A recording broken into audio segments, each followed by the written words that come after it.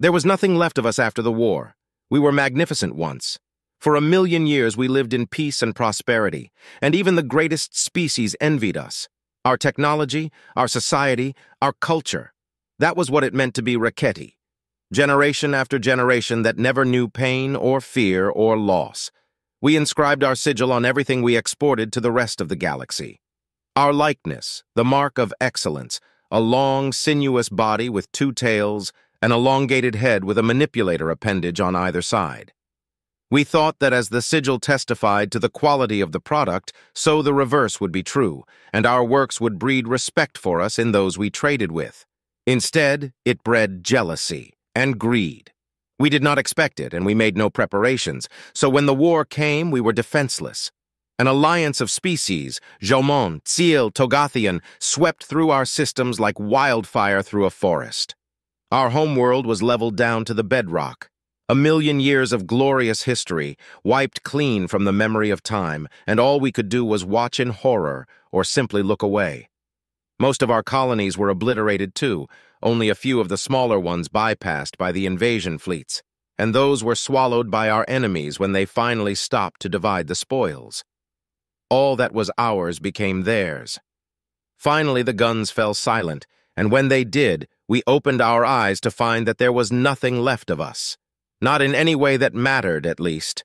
Our civilization and all its wonders was gone, reduced to a footnote in some other species archive. There were a handful of Raketi survivors who took the last remaining ships and fled.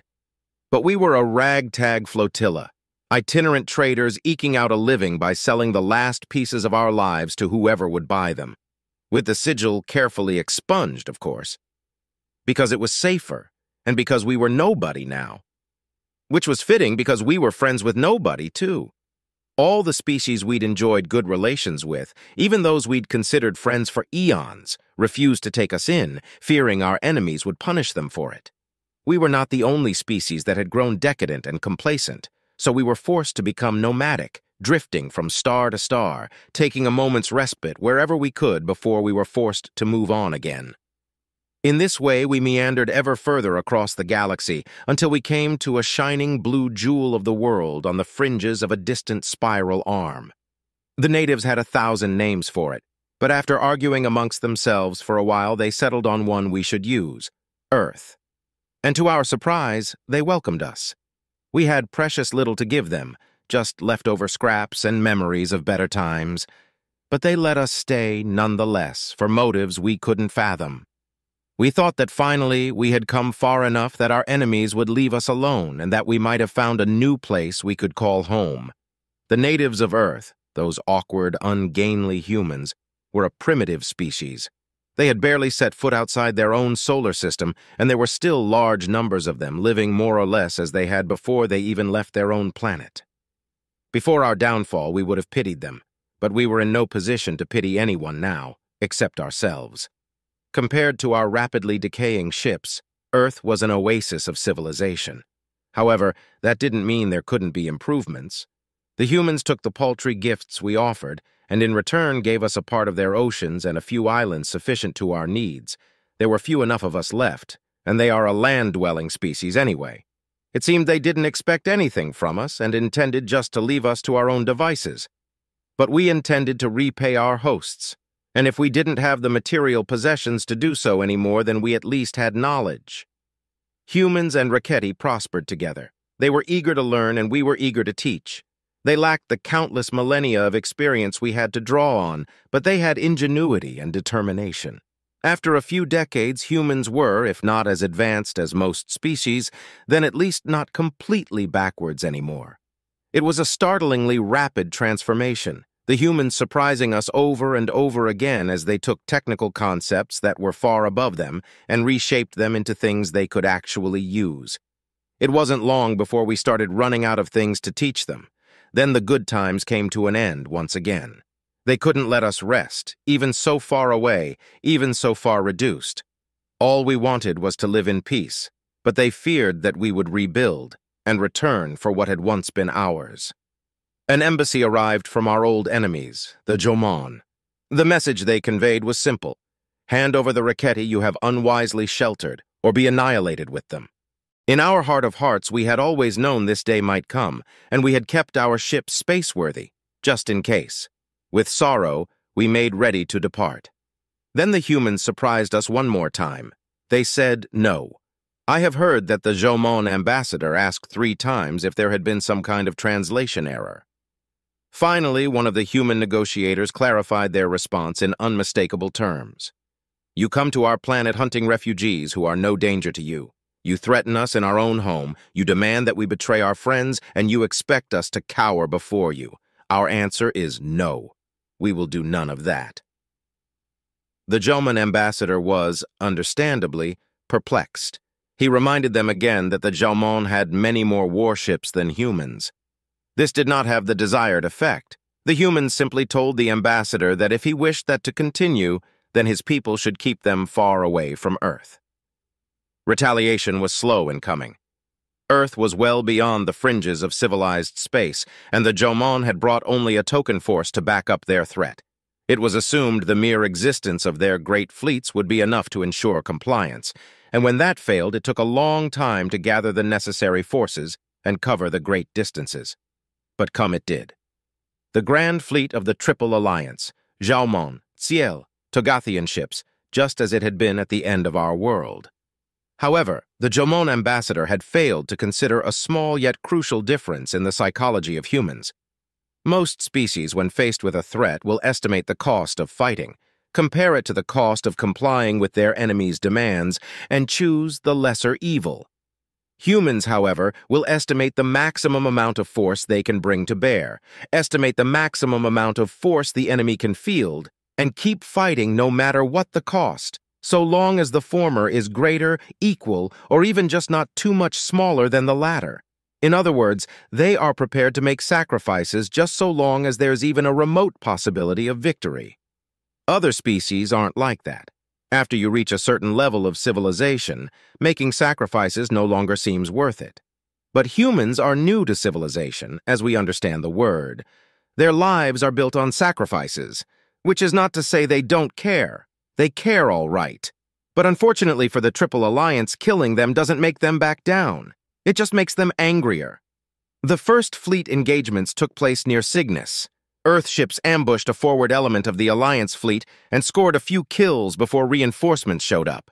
The Earth fleet then fought a pitched battle against an Allied attack squadron. The humans took 90% casualties. It was a complete rout, with all human ships forced out of Cygnus. Several colonies were evacuated as well, just before being destroyed. After the battle, the Tsil sent an embassy to Earth to negotiate terms of surrender. The humans were confused. We've only had one battle, they said. Who ends a war after just one battle? Most people, actually, but I didn't tell them that. The Tsil assumed that humanity had simply doubted the capabilities of their fleet and that now they had comprehensively demonstrated their superiority, humans would back down to avoid further losses. That is how most species would respond. The Tsil were disappointed, however, because, as I said, being humans, they just got angrier. Remember Cygnus was a rallying cry for the rest of the war, an insane statement to most species because why would you want to remember your defeat? But for humans, it worked. It was a long war, much longer than the Triple Alliance had expected. Their first forays towards Earth ran into systems bristling with fixed defenses. Their fleets were stronger, but thanks to their overconfidence, humanity had had a long time to prepare. System by system, they were whittled down, so they tried to strike directly at Earth. That was an even worse idea. Earth was the most heavily defended planet of them all, and even the combined might of the Alliance fleet was forced to pull back after some inconclusive skirmishes. Then, they switched tactics, attacking the least defended systems in order to draw the humans into another pitched battle they would likely lose. The humans didn't fall for the bait and instead let their colonies fall while launching hit-and-run attacks, nipping at large forces to disorganize them, ambushing smaller ones and destroying them. I say humans. The humans were not completely alone. I and some of the other Raketi fought with them. For the first time, mostly, our attempts to defend our own homes had been completely futile, and most of those who had tried to fight rather than run had died. We were new to the art of war, but we had good teachers. Now our roles were reversed. It was humans who had a vast amount of experience in something they could impart to us. It was not knowledge we had ever wanted, but we made use of it as best we could. The Triple Alliance began to falter. They were at the end of a galaxy-spanning supply chain, and the war of attrition was not working in their favor. The casualty rates might have been horrific for the humans, but they were also well above what the Jomon, the Tsil, or the Togathians had expected. And they were not used to making sacrifices. The Togathian contingent consolidated their forces to guard against further attacks, limiting their effectiveness and angering their allies. The carnage continued, but it was becoming clear that the situation was at best a stalemate.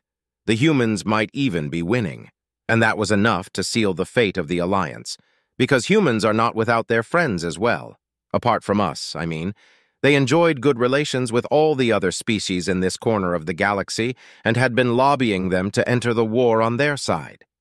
Faced with the juggernaut of the Alliance fleet, all the neighboring species declined to send aid. Because like most spacefaring species, they were rational beings, as we Raketi understand the term, at least, but once that juggernaut started showing cracks, the war had caused immense disruption to trade in this part of the galaxy, and many other species had noted the brutality with which the Alliance had wiped out human colonies. Humanity's neighbors assessed the situation rationally and judged that it would be to their benefit if the Alliance was encouraged, emphatically, to return to their side of the galaxy and stay there. When the odds were right, the probing attacks on Alliance detachments began. Then an Alliance logistics squadron was cornered and defeated in a battle that cost the attackers almost nothing and the defenders almost everything. As soon as that happened, the Togathian fleet withdrew entirely. Then the Tsil, or what was left of them, and finally the remnants of the Jomon. Their whole war effort collapsed so quickly it was almost an anticlimax, and the humans barely had time to hunt down a rearguard squadron and have the final showdown they'd been waiting for. The apocalyptic battle shattered the enemy forces for good. Just as we had decades before, the battered ships of the Triple Alliance limped across the far reaches of the galaxy, trying to get to safety. They made it home. However, their homes were surrounded by species they had threatened and bullied when their mighty fleet was unchallengeable. The humans had warned them, if you want to keep your ships, don't bring them anywhere near Earth. They really should have listened. Victory was bittersweet with so many dead, but having never experienced it before, I could see why humans enjoyed the taste. It was certainly better than defeat. And to my surprise, the war was over, and this time there was something left. Our home, as we had come to call it. Earth. That should be the end of my tale, but after the war I asked a human, why? Why did they go through all this for us? Because it always seemed like insanity to me. He told me, First of all, because you're our guests and our friends, and we owed you better than to just hand you over. But also, because you don't deal with bullies by giving them what they want. Then they'll just ask for more and more until by the time you have to fight, you've got nothing left to fight with. That lesson's been learned the hard way more than once in our history. I sat there listening, and my mind spun as I realized I was only just now starting to understand the young species that I had comfortably looked down on since they first gave us sanctuary. So mark my words well. There is logic in their madness. They are less than sane, but more than savage and while they balance in between, there is more within their reach than for those on either side. Do not underestimate them because we are old and they are young. We have a million years of greatness behind us, but it may well be that they have a million years of greatness to yet come.